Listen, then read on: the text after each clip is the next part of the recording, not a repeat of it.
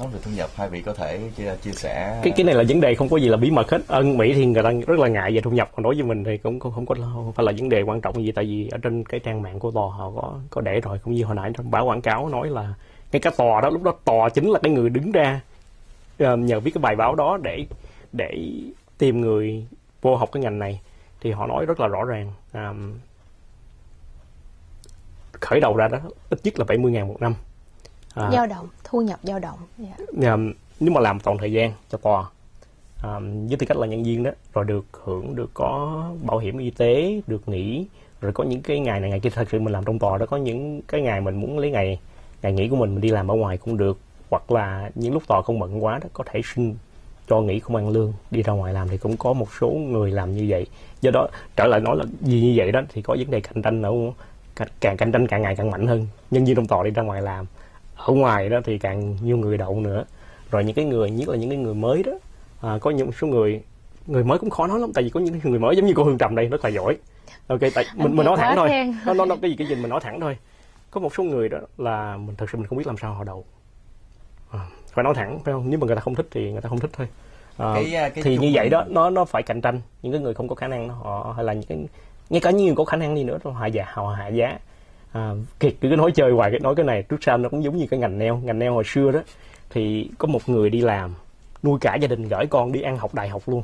Ok có nhà có cửa. Bây giờ nếu mà ở Cali này đó ở khu Việt Nam này ở khu người nhiều người Việt này ở một người đi làm neo không chưa chắc nuôi bản thân được nữa phải đi tới bang khác đi hay đi xa ra khỏi khu Việt Nam. Thì cái ngành này nó không có tệ như vậy nhưng mà cái kiệt đã thấy cái viễn cảnh từ hồi từ hồi lúc mà kiệt đang học chưa đậu kiệt thấy rồi. Tại vì từ mình là luật sư mình biết trước lúc xưa là không ai biết gì ngành ngành này hết bây giờ rất là nhiều người biết. Rồi lại có người dạy nữa. Hồi xưa là không có ai dạy hoàn toàn hết. Một người tự giống như đi giữa khu rừng mà không biết mình đi đâu nữa phải không? Làm sao làm sao có cơ hội đậu được. Yeah. Rất đó là, là cái cái mức lương của tòa án định ra còn bên ngoài nó như thế nào? Ví dụ như là những công việc à, những cái cách à, à, những cái dịch cho những dịch vụ khác thì nó được tính bằng giờ hay là tính bằng ngày hay như thế nào? À. Đối với kinh nghiệm cá nhân của em á, thì đa phần là khi mà mình nhận những cái uh, nó gọi là assignment là những cái lần mà số lần đi dịch á thì hoặc là nửa ngày hoặc là một ngày. À, nửa ngày là tối đa theo cái luật mà chung những cái công ty thông dịch họ uh, đồng ý với nhau á là nửa ngày là 3 tiếng đồng hồ và một ngày toàn ngày á full day là 6 tiếng đồng hồ. Nếu như mà đang làm nửa ngày mà nó kéo dài tới 3 tiếng rưỡi hoặc là 3 tiếng 15 phút 4 tiếng đồng hồ mình vẫn được tính cái giá là nguyên một ngày. Và nếu như mà mình làm 6 tiếng đồng hồ rồi mà vẫn còn ví dụ 6 tiếng rưỡi hoặc là 7 tiếng á, thì là họ sẽ trả cái, cái cái số giờ mà lớn ra họ sẽ trả là một tiếng overtime hai tiếng overtime dạ. thì cái hiện nay cái bảng giá nó là như thế nào cho những cái, cái, cái đó nó dao động giống như hồi xưa dạ. Kiệt nói đó hồi xưa đó lúc Kiệt mới đậu thôi. Trước đó là có nhiều, nhiều người họ đòi, họ đòi giá cao hơn nữa. À, nếu mà mình nói về những ngôn ngữ như là tiếng tiếng Nhật đó thì tiếng Nhật họ rất là khó đậu. Nghe nói tiếng Nhật đó cái động từ là để ở cuối. Chủ từ do đó họ dịch rất là khó nhưng mà có một số người họ đậu đó. Tới bây giờ ngay cả tiếng Nhật đó họ có thể đòi cả ngàn một ngày. Tiếng Việt mình hồi xưa đã có thời như vậy. Cái thời đó là đã qua rất là đã qua lâu rồi. À, ngay cả thời của kiệt nó có thể đòi một ngày 800 đô bây giờ hả? À, vẫn có người giữ giá khoảng 700 đô hay là làm sao vẫn có. À, những cái người kiệt kiệt thì tại như vậy mình làm trong tòa. Nếu mình bỏ đi ra ngoài mình làm trong tòa đã đã có một số lương rồi. Nếu mình bỏ ra ngoài mất cái lương đó mất ngày mất ngày nghỉ hay ngày ngày, ngày, ngày nghỉ của mình nó quan trọng lắm. Đối với đi ra ngoài phải đáng thì mới làm.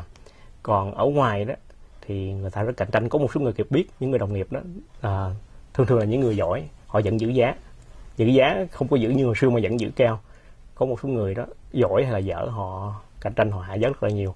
Ở miệng đó thì họ nói là giữ giá giữ giá. Nhưng mà đó thực chất là họ hạ giá. Tại vì như vậy có hai chuyện. Những cái công ty đó nhiều khi họ cho mình biết luôn. Nếu họ không cho mình biết có những cái vấn đề người ta không có nghĩ là mình biết được nhưng mà mình biết được.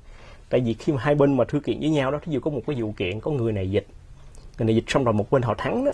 Họ ra tòa họ cho họ những cái án phí những cái chi phí tốn trong cái vụ đó là bao nhiêu. Thì họ để cái đơn đó. Những cái đơn đó những người trong quần chúng có thể lấy được. Chứ không phải là không có gì giấu giếm hết trơn á. Đây là không phải là nhân viên của tòa mới biết được cái gì. Ý cái đó là người ta có thể lấy được. nếu mình muốn mình muốn biết mình vẫn biết được thôi thì biết nó vô đó nói người thông dịch này tính bao nhiêu tiền.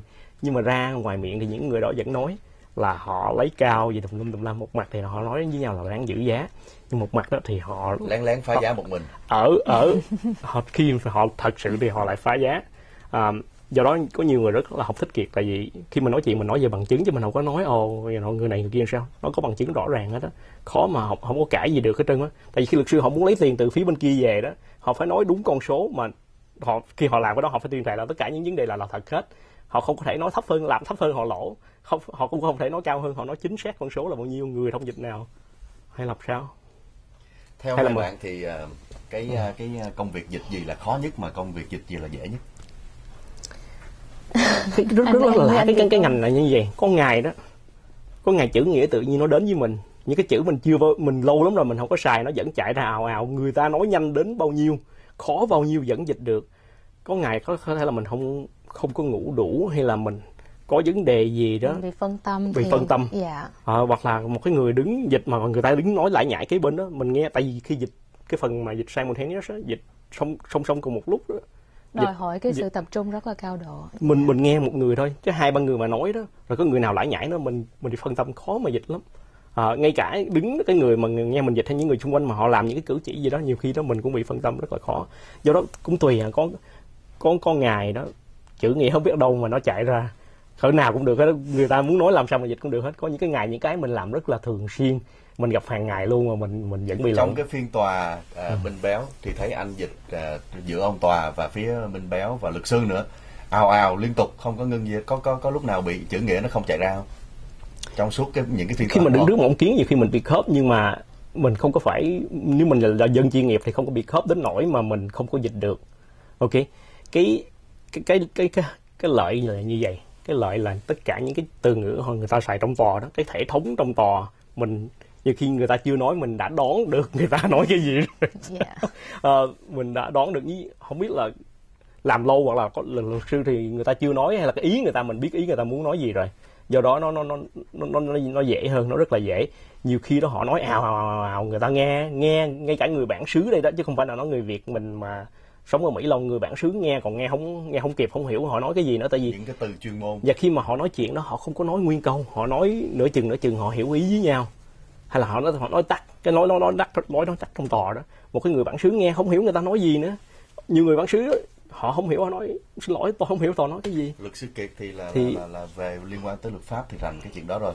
Còn liên uh, còn còn hương trầm thì cái nào đối với hương trầm là khó mà cái cái cái dịch nào đối với hương trầm là dễ? Dạ theo em thì cũng giống như là anh kiệt nói, tùy mỗi ngày là cái tinh tinh thần của mình, cái trí óc của mình nó như thế nào. Nhưng mà đối với cá nhân của em, theo kinh nghiệm làm ở trong tòa khoảng gần 3 năm nay đó, thì dễ hơn khi mà mình dịch từ tiếng Anh sang tiếng Việt là bất cứ những cái gì mà chánh án hoặc là cảnh sát hoặc là luật sư hoặc là thư ký ở trong tòa nói. Tại vì cái câu chữ cái ngữ pháp cái văn phạm của người ta rất là rõ ràng. Nhưng khi mà mình dịch từ tiếng việt sang tiếng anh là do nhân chứng nói hoặc là do bị cáo nói thì nó rất là khó. Bởi vì em cho ví dụ giống như uh, người Việt Nam mình nói ở ờ, uh, bữa tôi tôi làm vậy á tôi có cái ấy đó và tôi làm vậy đó. Thì khi mà mình dịch mình không mình mình mặc dù là mình hiểu là cái người nhân chứng đó hoặc cái người bị cáo đó họ đang muốn truyền đạt cái gì.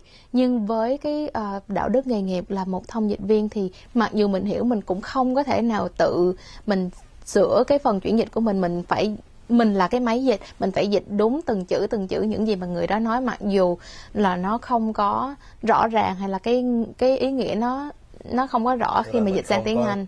nói dùm cái ý của người ta. Dạ đúng rồi. Vậy... mình mình cũng không có để cái uh, cái tone cái giọng nói của mình mình không được lên giọng xuống giọng như thế nào mình phải giữ cái giọng trung bình luôn. Dạ không có được để cảm xúc của mình trong cái phần chuyển dịch đó. Thì theo em đó là cái phần mà à, khó khăn nhất đối với tư cách một người thông dịch viên nhất là những cái người bị cáo hoặc là những người nhân chứng mà cái tình trạng tâm thần của họ không ổn định. Ví dụ bữa đó họ không uống thuốc hay là những cái người vô gia cư hoặc là những cái người nghiện thuốc nghiện rượu đó thì cái câu chữ của họ cái cách nói chuyện của họ nó không có rõ ràng. Thì đó cái là đó... chỉ nói về tòa án chứ còn những cái việc dịch khác có khi chắc là rất dễ. Dạ. như là luật sư kiệt nói hồi nãy là có cái người chỉ là được thuê tới để mà dịch cho cái cái người đã đang đỡ đẻ push hay là đẩy ra hay không đẩy ra dạ. vâng, đúng không? thì cái người cái cái cái người Việt Nam của mình họ nói cái câu không có à, hoàn tất họ nói nửa câu là là mình mình đã hiểu rồi mà cái cách người Việt Nam nói là vậy thành ra khi mà mình chuyển dịch sang từ tiếng Việt sang tiếng Anh thì nó nó nó hơi khó trong cái phần đó dạ cái cái cái kẹt là như vậy khi những người giống như là chánh án thư ký của tòa luật sư đồ họ nói chuyện đó họ có bài bản hoặc là họ ăn nói rất là à, rành mạch mình dịch rất là dễ. À, những cái người dịch ngược lại đó thì có một số người ăn nó cũng rất là rành mạch nhưng mà có một số người đó khi ra tòa đó cả người cả người bản xứ đi nữa họ bước tới tòa là họ quảng lên rồi họ không biết nói gì. Ở dưới này tính toán đủ thứ chuyện hết. Bước lên đó nói một chữ nói không ra. okay. rồi họ lọc bập lọc bập mình nghe mình còn không biết họ nói cái gì làm sao thì, thì khó mà dịch được lắm. Cái chuyện đó nó xảy ra rất là thường xuyên không phải là người việt mình không mà người bản xứ tại vì mình ở trong phòng tòa rất là rất là thường xuyên mình quan sát thấy đó. Họ đứng họ nói không ra chữ thì người việt mình còn sợ nhiều hơn nữa. Thứ nhất về ngôn ngữ là đã dội rồi về cái hệ thống không có quen thuộc. À, còn giỏi hơn nữa rồi lên đó nữa.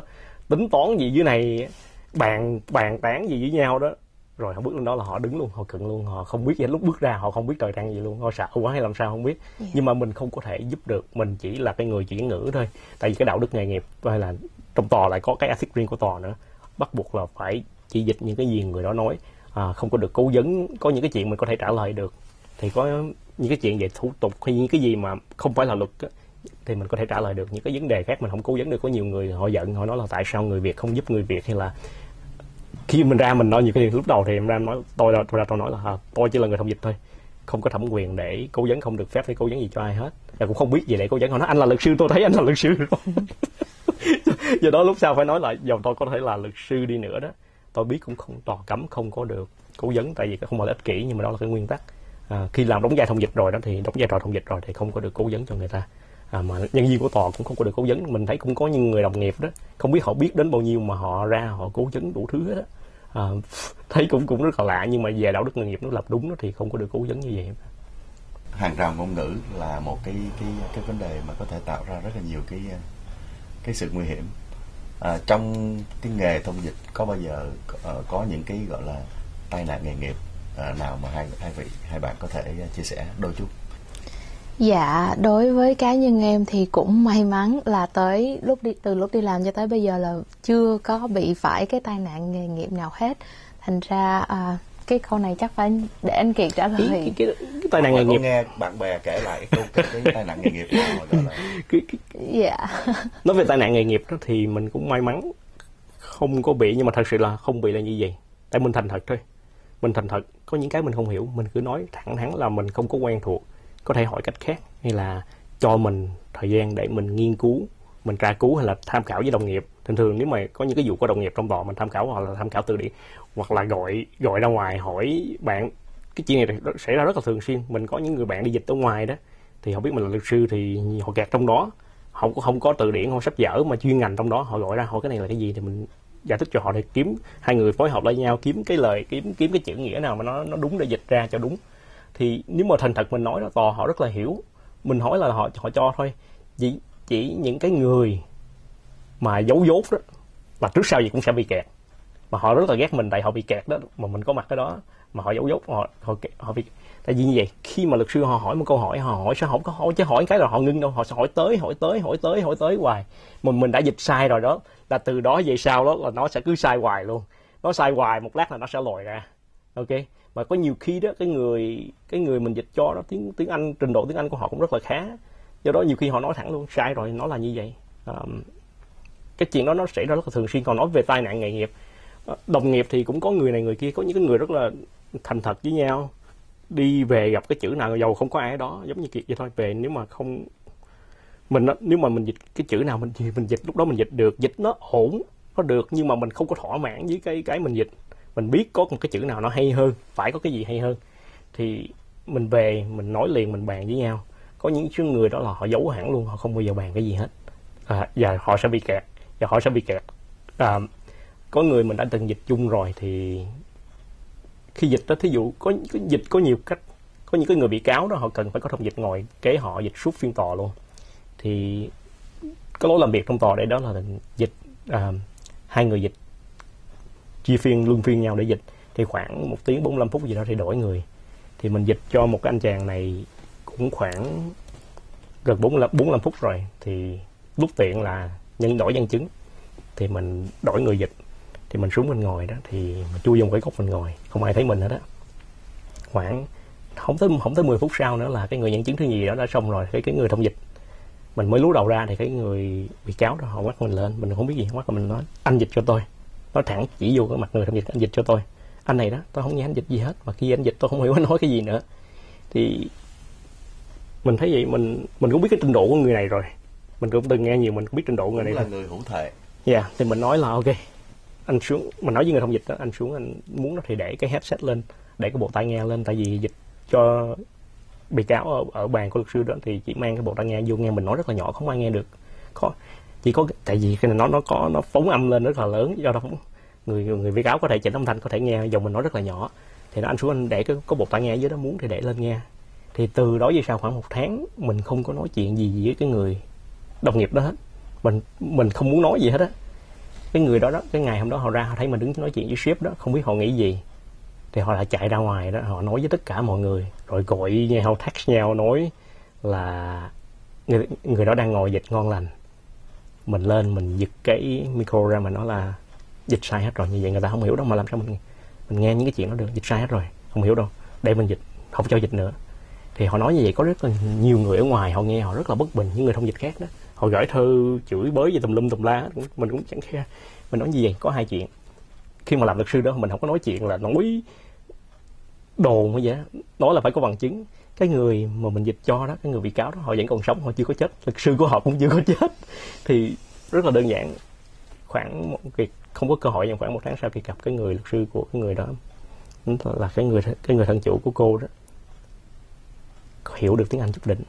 Cô hỏi người thân chủ của cô cái chuyện gì xảy ra cái ngày đó. Nhờ cái người thân chủ của cô biết ra bằng tiếng Việt, đừng có viết bằng tiếng Anh. Viết tiếng Anh ờ, rồi nó nó không hiểu tiếng Anh, rồi lum ra viết tiếng Việt đó. Thì cô lấy cái đó về ở văn phòng của cô nếu có thông dịch hỏi coi coi có tiết lộ bí mật gì giữa thân chủ với, với hay không? Nếu không cô cho tôi một bản được không?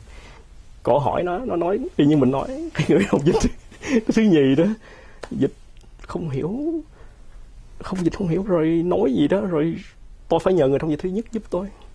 À, thì khi vậy đó rồi, rồi mình ra đó phải ra mình tận mặt mình đưa mà anh chàng nó vẫn còn nó dốc ra nói đủ thứ chuyện hết rốt cuộc mình đưa cái đó ra đó thì anh lại năn nỉ. Anh sợ bị đuổi anh nói bây giờ muốn kiệt muốn kiệt muốn mình làm sao? À, có những cái người đó họ rất là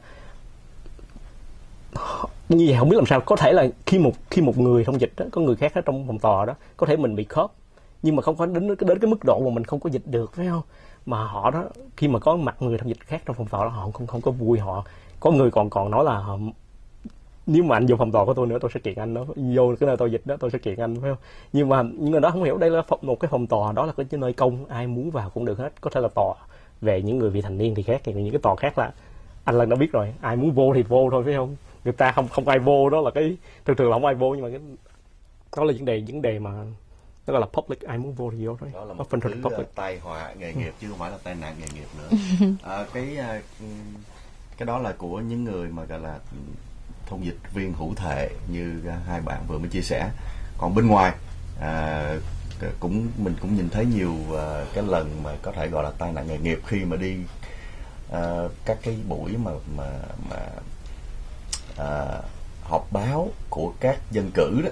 Đôi khi các dân cử à, Mỹ họ xuống đây thì sử dụng những cái người mà thông dịch. Có lẽ là trong trường hợp này là những cái người không có hữu thể mà là của nhân viên của các các, các dân cử đó hay sao đó cho nên có khi thì dịch ờ, rất là sai hoặc là có khi là à, cái người thông dịch cũng là những bạn trẻ à, có bằng cấp đấy nhưng mà cái tiếng việt thì lại quá yếu cho nên dịch không không không được. Có, cái, có, cái, hai bạn có cái kẹt là như vậy trường hợp đâu tất cả mọi người nghĩ rất là nhiều người họ nghĩ là tôi nói được hai thứ tiếng tôi là thông dịch tôi có thể làm thông dịch được à, cái đó sai hẳn. Làm thông dịch biết hai thứ tiếng là phải biết rành đến mức độ nào nữa tại vì một người đó thường thường cái kẹt là gì? Một người mà rành tiếng việt đó thì tiếng anh tiếng anh lại lại kém à, rành tiếng anh đó thì tiếng việt lại kém. Thì những cái bạn mà trẻ mà thường thường đi làm cho những dân phòng của dân dân cử ở đây đó hầu hết là họ rành tiếng anh tiếng việt họ không có rành. Tiếng việt rành giống như những cái những cái giao tiếp hàng ngày hay là hoạt động hàng ngày thì được nhưng mà vô những danh từ chuyên môn đó là sẽ kẹt. Và ngay cả bên bên bên chính trị đi nếu mà kiệt là một cái người mà bên luật đây mà qua chính trị thì nó nếu mình có kiến thức chút đỉnh rồi đó thì nó cũng đỡ chứ không qua nhiều khi như cái ngành nghề khác mình qua mình dịch cũng rất là kẹt. Được khi nào mình cái gì cũng vậy phải làm thường xuyên thì mới nhiễn thôi. À, nếu mà qua cái đó nhiều khi cũng kẹt. Nhưng mà cũng có thấy có những lần họp báo cái, cái coi trên video đó khác. Nó rất mình nhiều khi trách trách thì cũng cũng có phần trách nhưng mà cũng cũng khó mà trách được. Tại như vậy một khi trước công chúng máy chụp hình tivi một đống người ở đó người ta nó khác hẳn. Ngồi ngồi ở nhà nghe thì rất là dễ. Dịch dịch trong một cái dịch trong một cái environment đó à, một cái môi trường mà nó không có không có bị sức ép Việt Nam bây giờ gọi là sức ép hồi trước. Áp bị áp lực tâm lý. hồi, trước là áp lực đó. Thì thì nó rất là dễ nhưng mà một khi ngồi trước một đống người rồi nếu mà có những người đồng, đồng nghiệp họ ngồi đó họ muốn nghe mình dịch làm sao nó nó nó cũng cũng khó lắm phải không? Chứ không khó khó mà trách được. Nhưng mà nhưng mà cái trở về cái cơ bản là những cái người mà làm cho văn phòng những cái dân cử đó phần đông thì tiếng tiếng anh thì họ sinh ra lớn lên ở đây thì tiếng anh không có vấn đề, nhưng mà cái kẹt, như danh danh từ chuyên môn. Khi mà học giống như kiệt thôi, hồi xưa lúc giàu là lớn, qua đây cũng đã lớn nhưng mà chưa có lớn hẳn. Học Việt Nam học đến lớp 10 mà lớp 10 lúc đó thì ở dưới quê, ở dưới quê. Và cái thời gian đó là cũng cũng cũng sau sau 75 thì cũng không có ai chú trọng gì về học hành học hành. Thứ nhất là gia đình mà thuộc về phần tử xấu đó thì cũng cũng không có cơ hội mà lên đại học học đâu, phải không? giờ thứ thứ nhì đó là lúc đó là ai cũng lo chạy. Chán cơm manh áo hết à. Ba thì đi học đọc rồi mẹ thì lo làm nuôi. Con nhiều khi mình cũng phải nghĩ vô mình mình làm. Cái chuyện học lúc đó là không phải là cái không phải là vấn đề quan trọng. Nó khác bây giờ ở Việt Nam Việt Nam bây giờ người ta học ngày học đêm. À, rồi học tiếng Anh cái này cái kia hồi xưa cái đó cái chuyện đó không có. Do đó, đó khi mà kiệt qua đây kiệt học học rồi ra trường đại học xong đó thì có bằng cử nhân xong rồi lên học luật đó. Tất cả những cái đó mình học bằng tiếng Anh hết khi trở qua tiếng Việt mình không biết nó là cái gì. Phải phải mò lại thì phải mò lại phải nghiên cứu sách vở cũng không có nhưng mà cũng đỡ là có mua những cuốn sách luật ờ, được những cuốn sách luật trước 75 mình có rất là nhiều. Rồi cũng có có người này người kia chỉ cái này cái kia thì do đó do đó mới mới biết được chứ. Đó là ngành luật thôi những cái ngành khác cũng kẹt lắm. Nói về uh, dịch cho các dân cử đó uh, thì uh, có một vài người thông dịch viên Việt Nam dịch cho tới ờ, cái cái cái cái mức độ cao nhất đó là dịch cho tổng thống à, cái lần các lần như là tổng thống Obama xuất hiện ở Việt Nam hoặc là những lần mà mà các dân cử có những cái um, cái cái cái, cái uh, cuộc gặp gỡ với các quan chức Việt Nam thì đó có phải chăng là một cái cái người hết sức chuyên nghiệp để mà có thể đảm nhận cái vai trò quan trọng như vậy? À, theo như em được biết á, thì thông dịch viên tiếng Việt của mình nó ngoài là thông dịch viên tòa án ra thì có làm à, thông dịch viên cho Bộ Ngoại giao là State Department. Thì ừ. những cái người mà cái để mà trở thành à, thông dịch viên cho bộ ngoại giao đó thì mình cũng phải trải qua những cái cuộc thi cử cũng rất là à, gây go chứ không phải là dễ dàng gì. Thì bởi vì không phải là ngày nào cũng có việc không phải lúc nào cũng có việc. Thành ra khi mà làm thông dịch viên cho bộ ngoại giao thì sẽ làm theo hợp đồng à, và phải thi rồi phải phải làm theo hợp đồng đó. Thì có những người mà ví dụ như họ rành về vấn đề những cái thuật ngữ về chính trị cả cái hệ thống nhà nước ở Việt Nam cũng như hệ thống nhà nước uh, tư bản ở bên đây thì uh, họ có thể là cảm thấy thoải mái hơn. Rồi họ muốn ví dụ như là đi du lịch hay là muốn uh, mở rộng mối quan hệ thì họ có thể làm như vậy. Cái suy nghĩ của mình thì mỗi mỗi cái ngành nghề khác nhau. Nhiều khi kiệt nghĩ là những cái người mà dịch cho nguyên thủ quốc gia rồi đó thì cho bộ ngoại giao đó um, thì có thể là cái bằng đó nó có thể nó khó hơn có thể nó không khó hơn là như vậy. Thì ngay cả trong những cái người mà dịch cho bộ ngoại giao đó thì nó cũng có từng có cấp bậc thì không đúng hơn theo kiệt hiểu đó người ta thi. Thi thì nếu mà điểm cao thì cao có kinh nghiệm nhiều đó thì có thể dịch ở những cái cấp những cái phiên họp cao hay là những cái lần mà um, chính phủ ờ, những những lần tổng thống đi ra nước ngoài hay là những cái người trong bộ ngoại giao cấp cao họ đi ra nước ngoài thì dịch cho đó. Những người thấp hơn thì họ dịch nó gọi là escort interpreter gì đó thì dịch cho những cái phái đoàn đi. À, rồi cũng chắc có lẽ theo kiệt nghĩ thôi có thể không đúng thì có thể đúng có thể không đúng. Những cái người những phái đoàn đó thì cũng, cũng tùy cái phái đoàn cấp cao hay là những cái phái đoàn thường thôi thì cũng cũng tùy cái level. Rồi có những cái người họ thi vô trong đó để họ dịch nhưng mà không phải là để đi dịch cái phiên dịch mà để biên dịch. Tại vì um, bên bộ ngoại giao hay chính quyền mỹ cũng có những cái văn kiện rất là nhiều họ cần phải dịch thì họ có được họ phải thi vô đó để họ dịch những cái văn kiện đó. À, ngay cả trong cái cái cái trang mạng của bộ ngoại giao đó mình biết là gì gì có một cái người đi đi thi họ về họ kêu mình đi thi họ kêu kiệt đi thi nhưng mà kiệt kiệt không có không có muốn đi thi kiệt lại muốn hương trầm đi thi. Thì kiệt cũng lớn lớn tuổi rồi à, muốn đi thi cái đó phải bỏ ra một thời gian nữa để học. Kiệt vô cái ngành thông dịch hữu thể của tòa này đó tại vì là luật sư rồi bây giờ đã biết về cái hệ thống rất là bây giờ chỉ cần tìm cái cái ngôn ngữ học về cái ngôn ngữ thôi. Còn nếu mà qua dịch cho bộ ngoại giao đó thì có thể phải học về quan hệ quốc tế hay là chính chính trị gì thì kiệt không có muốn bỏ thời gian đó nên nó lớn rồi có gia đình phải lo nữa à, cô Hương Trầm đây là Kiệt, Kiệt đã nói rất là nhiều lần rồi mà không biết cô, cô khi nào cô dạ, sẽ làm em không? em vẫn ừ. đang uh, ngoài ừ. cái việc tại vì bây giờ làm bán thời gian thành ra có nhiều thời gian để mà hoàn tất cái bằng cử nhân uh, bachelor degree thì song song với cái đó cũng đang uh, học về những cái à, thuật ngữ cho cho bộ ngoại giao để mà hy vọng tới sắp xếp thời gian hợp lý thì sẽ đi thi cái... để thử sức mình. Tại vì cũng còn trẻ cái cơ hội cũng còn nhiều. dịch dạ. cái bộ ngoại giao thì như vậy à, trong cái trang mạng của bộ ngoại giao mình có vào coi họ nói đừng có coi cái này là cái nghề để nuôi sống bản thân được. À, tại vì họ không có mướn mình toàn thời gian khi cần mà lâu lâu họ mới cần một lần. Dịch cái đó thì kiệt nghĩ là để thứ nhất là để được trải nghiệm đi với những nguyên thủ quốc gia hay được đi đây đi kia làm sao phải không? Những cái chuyện mà cái thật sự tò mò cũng cũng, cũng muốn biết coi nó ra làm sao. À, nhưng mà không có tò mò đủ như vậy. Và thứ nhì là để, để có tiếng có, có, có, có tiếng đó là để có tiếng tâm thì có thể người ta dùng cái đó để người ta làm những cái chuyện gì khác. À, đúng rồi khi nhưng mà tiếng tâm thì người, khi người ta thuê về về à, các người thông dịch viên thì có cơ hội nhiều hơn và có cơ hội hát giá cao hơn đúng không?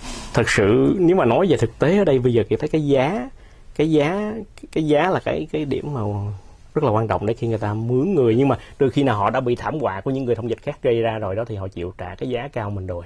À, hay là họ cần gấp gì đó. Nói về cái thảm họa gây ra khi mà dịch không đúng đó cái người thông dịch viên có phải chịu một cái bất cứ một cái hình phạt hay là một cứ thứ bồi thường nào không? Hay là nó không có cái gì nếu, nếu mình trả cái câu, câu trả lời ngắn gọn thì hiện giờ mình chưa thấy trong chưa thấy trong cái những cái mà có về đạo đức về nghề nghiệp đó không không không không thấy. À, trừ khi nào mà người ta kiện mình về bất cẩn mà phát gì đó mình cái đó thì mình chưa thấy. Có thể là tiếng tâm thôi. Về tiếng tâm mà cũng khó ai biết được cái kẹt cái là dịch. Trừ khi nào cái đó là một cái người ta không thích kiệt thì kiệt là luật sư. Thì lại có rất nhiều người bạn là luật sư gốc việt. Thì họ biết mình là thông dịch nữa. Một khi họ đã đi nơi nào họ gặp thảm họa thì họ về họ kể cho kiệt nghe. Thì you know, có những cái người họ biết là mình biết đó thì họ lại không thích cái vấn đề không không thích. Mình kỳ cũng có tính hơi tò mò. Um, cái kẹt là có có những có rất là nhiều người bạn bè làm luật sư. Um, tại cộng đồng ở đây đó lớn nhưng mà không có lớn quá để nó vẫn còn nhỏ đủ để những người luật sư biết nhau hầu hết là biết nhau là luật sư đoàn Việt Nam hàng năm có họp hay là có những cái lần có, có gặp rất là thường xuyên thì những cái lần ăn uống gặp lại đó thì nếu mình mà nói mình là thông dịch thì người ta sẽ kể cho mình nghe đủ thứ chuyện hết đó yeah. nếu mà bây giờ không nói chuyện thảm họa nữa vì nói chuyện gọi là những chuyện vui vui trong cái nghề à, thông dịch đi chắc chắn cái vấn rất đề là mà, nhiều mà, chuyện mà, vui. mà, mà gọi là à, khác biệt ngôn ngữ nó sẽ xảy ra nhiều chuyện như vậy à, hai bạn à, chia sẻ một vài điều à, với vấn đề và khác biệt ngôn ngữ thì cá nhân của em chưa có gặp. Cái trường hợp mà khó xử nhất á, là khi mà dịch cho bị cáo thì có những bị cáo nhiều khi họ ở trong ở trong tù lâu quá hoặc là họ bất cần đời họ không có quan tâm tới là coi cái mạng không phải cái mạng sống mà cái cái cái cuộc đời của họ ra sao rồi họ họ quen ở trong tù rồi thì có nhiều lần à, ở trong tòa tòa đang nói chuyện thì họ họ nói họ muốn nói gì họ nói có những lần họ chửi thề thì phải dịch chữ thề luôn. Dạ đúng rồi. Những cái chữ đó khi mà họ nói tiếng việt là mình phải dịch sang tiếng anh. Mà uh, ba mẹ giáo dục là không có nói bậy. Khi từ nhỏ tới lớn là không có nói bậy. Thành ra những cái lần mà chửi thề đó cũng rất là ngượng miệng không có không có dám mình không có dám nói thẳng nhưng mà với cái cái cái đạo đức nghề nghiệp bắt buộc là bị cáo nói gì mình phải nói cái đó thành ra phải phải nói thẳng có những lần như vậy. Còn với cá nhân của em á những chuyện vui khi đi làm là được rất nhiều à, phạm nhân nam hỏi xin số điện thoại để sau khi mà ra tù rồi dẫn đi uống cà phê. Hoặc là uh, nói là ồ sao em uh, em trẻ vậy? Em đẹp vậy? Làm thông dịch uống vậy? Sao không đi làm diễn viên hay người mẫu? Thì cái lúc đó cái đạo đức nghề nghiệp của mình là phải nói là uh, xin lỗi nhưng mà với tư cách là thông dịch viên thì không thể nào nói chuyện với bị cáo nếu mà luật sư không có mặt. Dạ. Yeah. đó là hương trầm thôi. Hương trầm thì rất là ngại khi mà phải dịch những cái chữ nói những cái lời thô tục đó dạ những cái lời mình thì mình mình mong mong rất là mong muốn có những cái cơ hội như vậy phải không? Khi kiệt mới vô lo tò làm cái ngày thứ nhì thôi. À, lúc đó có một người thông dịch khác đi dung vô một cái phòng tòa thì có anh này ảnh bị tâm thần. Mình có thể kể được tại vì nó diễn ra trước tòa mà. Trước đó là mình đã biết anh ấy bị tâm thần rồi. Um,